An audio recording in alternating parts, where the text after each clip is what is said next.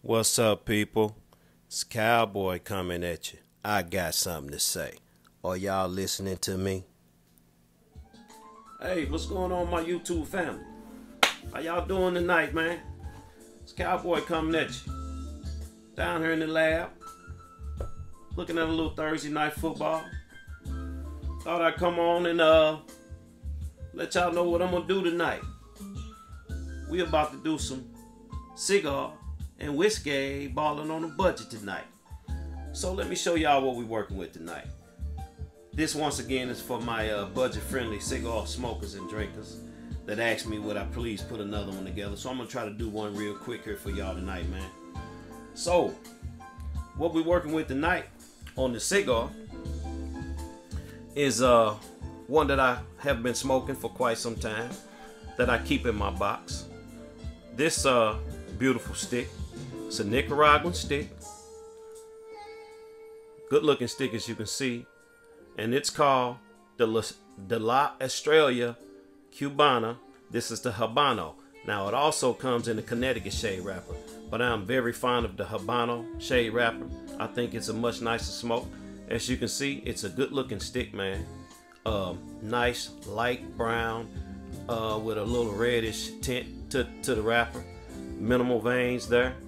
Uh, nice oily, slick looking wrapper. Nice double cap on that thing, man. Good looking cigar. Now this cigar is a Toro 6x50. Uh, it goes for about four bucks when you buy it as a single stick. Now, don't sleep on this budget-friendly cigar here, man. I've smoked it quite a while. I've been smoking quite a few of them. It's a really good stick. Good everyday yard gars, you guys call it. You can smoke this cigar anytime and not have to worry about wasting your money. But uh, this cigar is made by General Cigar Company. That's the same company that makes uh, Punch and Cohiba, Macanudo. You know, we know General Cigar. If you're a cigar smoker, you're smoking a lot of General cigars anyway. So, like I say, that cigar goes for about four dollars a stick, man. If you buy them by the box, now they do come in boxes. They don't come in bundles. For those guys that don't like to buy bundle sticks, they sell these cigars in the box and you could probably get them about three dollars a piece if you buy them by the box. So that is the 6x50 Toro de la Estrella Cubana Habano. And what we've decided to pair with that tonight is I decided to go up the ladder just a little bit. The last couple times I came on for cigar and whiskey on a budget, balling on a budget, I pulled out uh, some bourbon. So tonight we're gonna go with some scotch, man. This is the Glen Moray. It's a Speyside. Uh, this is the port cask finish. This is the one that I really, really enjoyed by Glen Moray. Now this uh, 750 milliliter here, depending upon where you get it, it's gonna go anywhere between uh, low 20s, um, low to mid 20s. But I was able to get this one for about 23 bucks. So it's gonna probably cost you 20, anywhere between 23 and 28 dollars for a fifth of this. But it's a very good scotch. Okay. So, but first, what we're gonna have to do is I'm gonna have to finish this one off before I open that other one up. So, Cowboy gonna pour the drink, and then we're gonna cut it like a cigar. Hope everybody's having a good day today, man. I just want to come on here real quick, man, and uh do a cigar and whiskey balling on the budget for my friends, man. So, let's get in this cigar. We ain't gonna waste no time. We're gonna do old straight cut on it.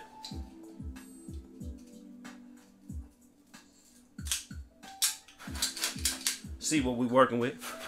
This cigar is dressed in a Nicaraguan Habano wrapper, as I said. It's gonna have a Honduran binder and it's gonna have Nicaraguan long fillers in it as well. Took a nice straight cut there. I'm gonna say a medium, medium draw. On the wrapper, we've got that's uh, like some barnyard, a little, maybe a little hint of manure there. Definitely barnyard. On the foot, I'm gonna say that's some uh, coffee, maybe some espresso, sweet brown sugar, sweet tobacco. So, We ain't gonna mess around, man. Cowboy gonna fire this thing up. And we gonna get through this, man. Just wanna come on, man, and show y'all another uh another way of being able to enjoy cigars and whiskey, man, without breaking the bank, man. So we working with this scotch tonight, man. This is a scotch that I hadn't been able to find around here in St. Louis for a while. Until, I don't know, maybe a year ago. I used to have to get this every time I went down home to Mississippi, man. I was all, always able to pick it up. So I would pick something up and bring it back. But I inquired about it at the store here and they make sure that I got it when I want it.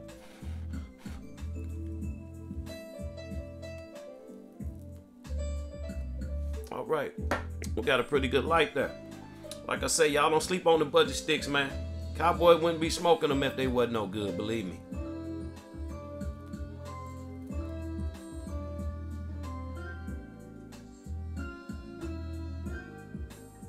Like I say, this is a general cigar made cigar. And right on the initial light up, got a nice little, I'm gonna say that's uh, a pretty strong white pepper note there on the retro. White pepper with some spice. Got a coffee note there already as well. Nice foot smoke on that thing already. And already the cigar is giving me a nice aroma. Nice earthy aroma to it.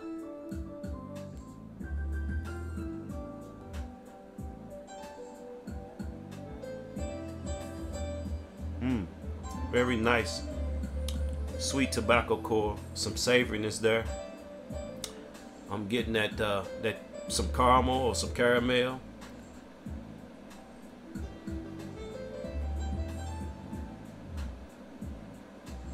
All right.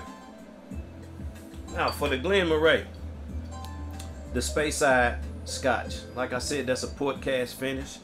Uh, this thing was finished in port cask for about the last eight months. It's a non-age statement whiskey, uh, but it's at least four years old, I believe, in order for it to be a Scotch. But uh, I've been drinking this for a few years now, man. I always keep some around, man. But uh, had nice spice, nice fruity notes to it. Nice hint of vanilla there. So let's see what we working with. Even got my Glen Moray glass out today.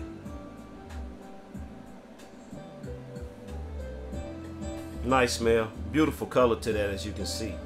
Nice, nice color. Vanilla. Some cinnamon spice.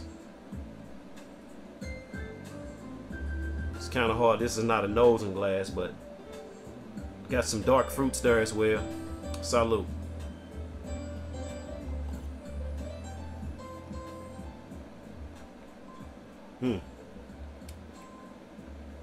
Nice. Been a while since I've had it. Nice spice. Nice cinnamon and vanilla there. Some type of a uh, sweet candy note. Very nice scotch. So it's going up the ladder a little bit. $4 cigar, $23 for the bottle. So we're talking $27. I think that cigar and whiskey balling on the budget.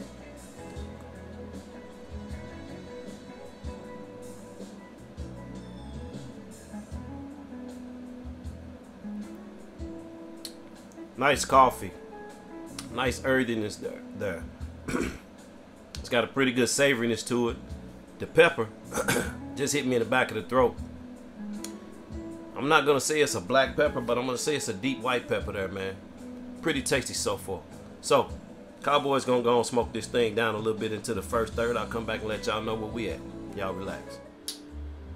All right, family.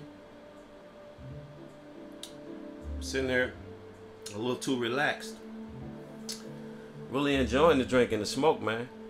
We cigar and whiskey balling on the budget tonight, baby.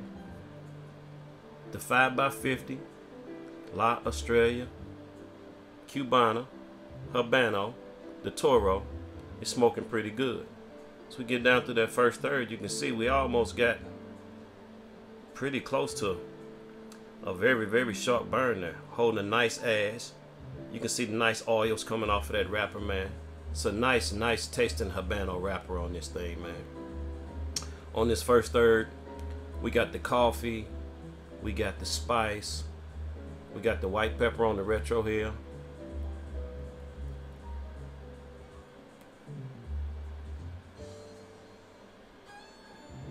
Really good aroma.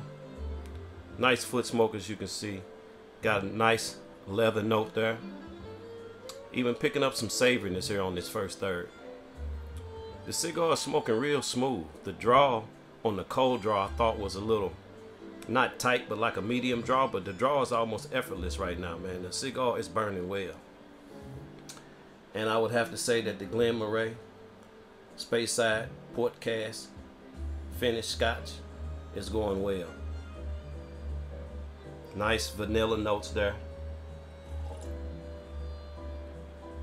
as it opened up you can really tell that that that tawny port cask finish is there as well. Got a nice sweet oaky note to it as well. And uh, definitely some some type of fruit there going, some type of a dark red fruit going in as well. This uh this particular scotch, like most of them anyway, is a uh, 40% ABV, which makes it 80 proof. Very smooth, smooth scotch. If you guys have never tried it, go out and look for it, give it a try. That would be the Glen Moray Port Cask Finish. Now, Glen Moray has about uh, four or five different blends. I really enjoy the Port Cask, and I think they got a they got a classic that's not bad. And there's one other one uh, that I've had that wasn't so bad, but uh, I think it was a sherry cask. But this is the one I really enjoy. But so far, so good on the drink and the cigar, man.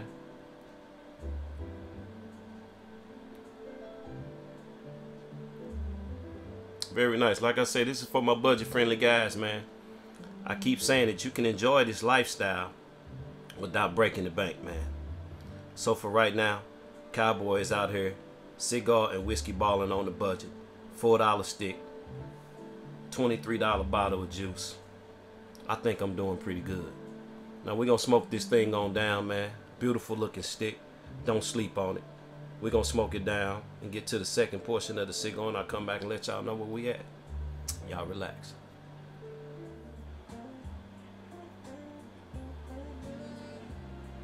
All right, family. I am very pleased with the $4 budget stick, man. Cigars have always been good to me. Um, has not failed me today. Cigar smoking well as you can see. Still a very good looking stick. Very nice looking burn line. No touch up so far on the cigar at all, man. The cigar is not overly complex, but the cigar is smoking well. Cigar's got a, on this second, third, it's got a semi uh, rich tobacco core to it.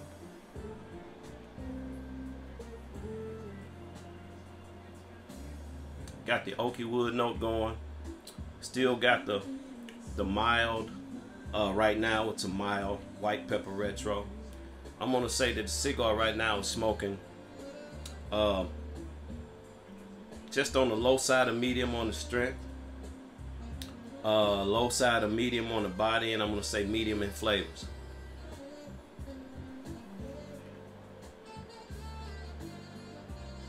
Nice, smooth, cool smoking cigar as well, man.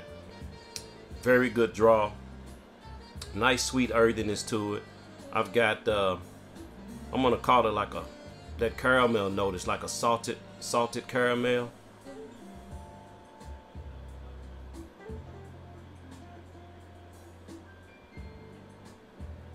Still got that really nice savoriness to it. The leather is there. Um, like a espresso, coffee espresso note. Very smooth, man. Nice earthy aroma. Like I say, not overly complex. I mean, just right for a budget stick. And you got to keep in mind, man, it's General Cigar. This cigar is rolled in Esteli, Nicaragua. Like I say, in the same factory that does your Cohibas and your Macanudos and your Partagas. Um, so General just went out and found a way to make a nice budget friendly long filler cigar, man. That is a great, great smoking cigar. Four dollars, you can't beat it. You can get the box for about 60, 65 bucks. Not the bundle, but a box.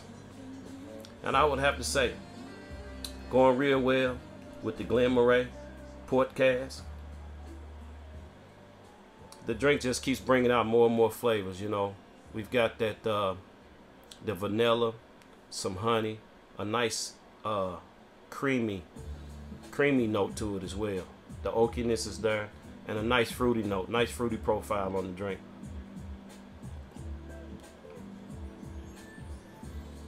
Glen Moray. You guys haven't tried it, I challenge you to go out and get it, man. Check it out. You know, in the low 20s for the bottle, you can't beat it. I think it's a great, great scotch for the price.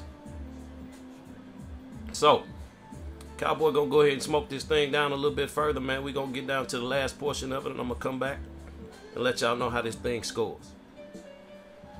All right, family. We back. Salute.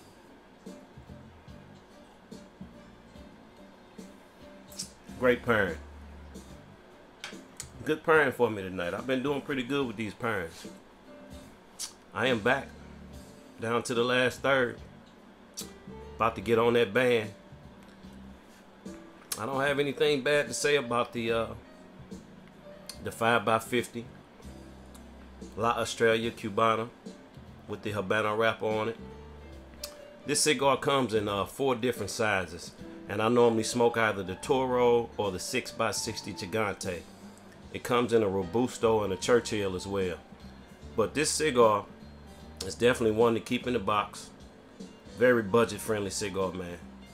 We are a cigar and whiskey balling on the budget, man. In this last third, the cigar has pretty much stayed true to the few flavors that it does have. Uh, the white pepper retro has intensified just a little bit on this last third.